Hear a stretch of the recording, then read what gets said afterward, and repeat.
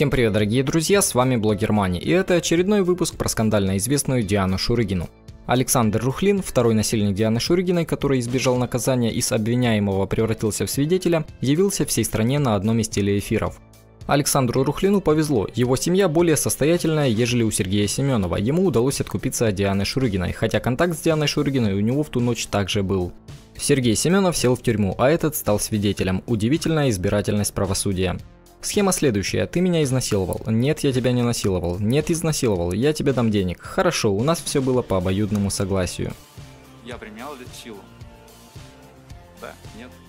Нет. И опять же вопрос проплаченности всего и вся на этих эфирах. Какой нормальный пацан придет в студию после всего, что случилось, находиться с этим недоразумением в одной студии и задавать какие-то там вопросы? На данный момент муж Дианы Шургиной Андрей Шлягин разъяснил, почему во время съемок телепрограммы на самом деле он ударил Александра Рухлина, молодого человека, который занимался сексом с его уже нынешней женой. Чтобы Андрею Шлягину наказать всех, кто занимался сексом с Дианой, нужно забить стрелу города Ульяновску. Кстати, сама Диана Шурыгина об Ульяновске говорит следующее. «Быдло – город, где люди отморозки». Шлягин уверяет, что перед съемками Рухлин якобы вел себя слишком высокомерно, оскорблял Шурыгину и пытался всячески ее задеть и унизить, что очень вряд ли, судя по тому, как парнишка дрожит в кадре. В один момент муж Дианы не выдержал, вышел и, глядя ему прямо в глаза, нащелкал по роже так, что он улетел далеко за декорацией, со слов мужа Шурыгиной. Твою мать! Извини, сука, перед ней. Напомним, в шоу на самом деле Александр Жухлин появился из-за половой связи с несовершеннолетней, то есть с Дианой Шурыгиной. В ходе эфира стало известно, что секс между молодыми людьми был по обоюдному согласию, но со слов Дианы Шурыгиной, Рухлин якобы воспользовался состоянием партнерши, убедив ее на это.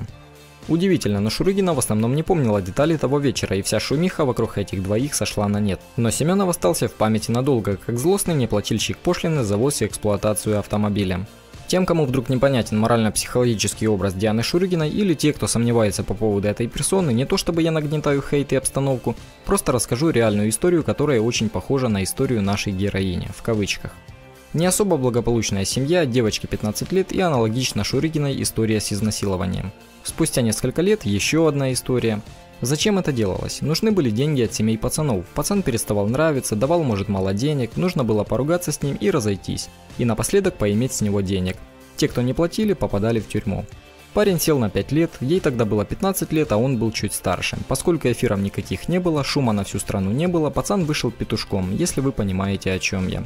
Сейчас эта девушка вышла замуж, и у нее все хорошо. Видимо, поняла, что лучше получать деньги долго и постоянно, чем быстро и один раз. Явное сходство, неблагополучные семьи или недостаток воспитания, денежный вопрос, подставить, требовать, старт в 15 лет, впоследствии выходит замуж. С вами был Блогер Мани, подписывайтесь на наш канал и нажимайте на колокольчик, чтобы не пропустить новые выпуски. До скорых встреч!